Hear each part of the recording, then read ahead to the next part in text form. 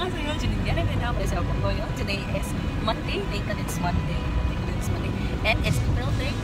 2018 specifically, it's 2.31 in the afternoon. And I'm with Alex, the forever president ng Echo. Eileen, and oh, Ay, tulog. Si Kuya Peter. Yay! Kinabawan namin. Video tayo.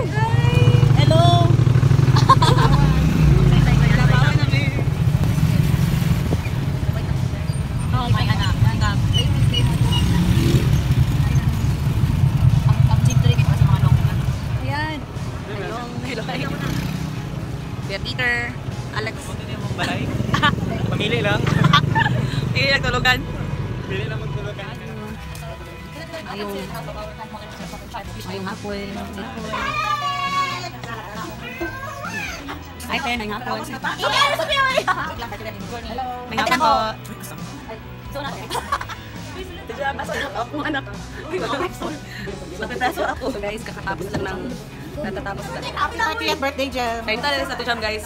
Trivia. Ayun, guys. Mag-interview ito mga friendships, mga higala. Ni Ate Jam.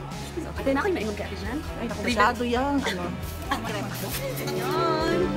We're having fun right now. Actually, this song is dating.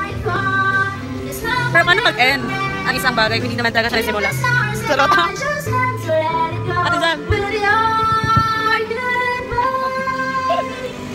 Mag-end ang something hindi na sa malaki? Uh, Scene.